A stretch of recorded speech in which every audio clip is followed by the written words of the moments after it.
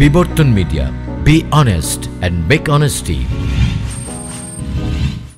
Hindu ধর্মকে বলা হয় সনাতন ধর্ম তার অর্থ পুরাতন অর্থাৎ আদম পৃথিবীর প্রথম মানব তার ধর্ম ছিল ইসলাম তাহলে সনাতন ধর্ম অর্থাৎ ইসলাম হওয়ার কথা সঠিক ব্যাখ্যা চাই সনাতন ধর্ম তো ইসলামই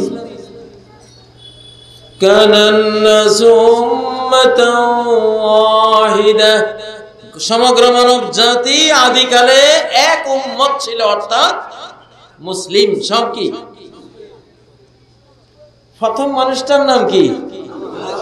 আদম। নাকি ভট্টাচার্য? হ্যাঁ? নাকি কোন সুনীল, অনিল, গণেশ? এটা এগুলি তো না। নাম কি? আদম। নাম কি? হাওয়া। নাম কি? নূহ। মানে আল্লাহর ভয়ে কানতে কানতে যান চোখ মুখ দিয়া পানির ডোনা পড়ে গেছে, ধার পড়ে গেছে, এরকম। তো এইসব নাম থেকে তো বোঝা যায়, সর্বপ্রথম ধর্ম কি? ইসলাম। সর্বশেষ ধর্ম কি? ইসলাম। সামনে আগামী কয়েক বছর পরে পৃথিবীতে ইসলাম ছাড়া কোনো ধর্মই থাকতে হবে না।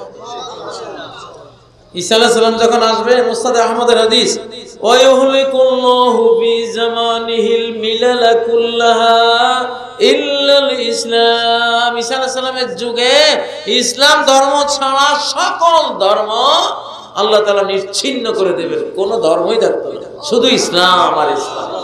সাত মহাদেশ জুড়ে শুধু ইসলাম আর ইসলাম। তা আউয়ালেও ইসলাম, আখেরেও ইসলাম। আলহামদুলিল্লাহ। ইসলামই হলো সর্বপুরাতন ধর্ম। নতুন ওয়াজ ও ইসলামিক সংগীত পেতে আমাদের বিবর্তন মিডিয়া চ্যানেলটি সাবস্ক্রাইব করুন।